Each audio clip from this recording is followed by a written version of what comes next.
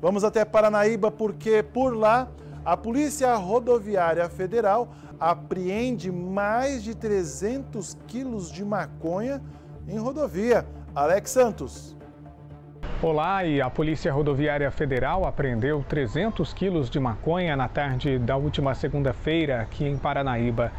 Os policiais rodoviários federais realizavam deslocamento pela MS 240 quando avistaram o motorista de um Fiat Mobi realizando uma manobra brusca ao avistar a viatura policial.